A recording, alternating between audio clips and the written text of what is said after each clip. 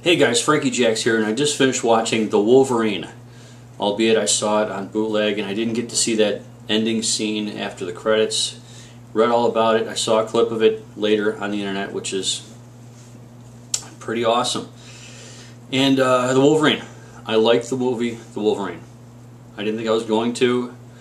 I don't like when my superheroes are weak and at their most vulnerable. But this was this was cool. This is cool the way they did it. And some stuff happened to Wolverine. If you don't want to know what major thing happened to him, stop watching right now. Okay, so you're still watching.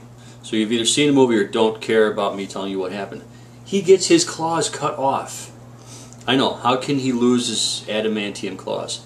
I guess there's like some super adamantium that if you heat it up or add lasers to it or some crap, whatever they did to it, uh, it can cut through anything, you know, even adamantium. So he got his claws cut off by the very dude who he saved his life what, 70 years ago. Crazy. Crazy as hell. Okay. So that happened. And then I'm thinking, okay, how's he going to get his claws back? Well, bone claws pop out. I'm like, okay, Wolverine cannot have bone claws. I mean, this might make an interesting facet to who he is and what he does. But uh, then again, maybe not. So I have a glimmer of hope for him in the in the next movie that he's in as Wolverine, Hugh Jackman.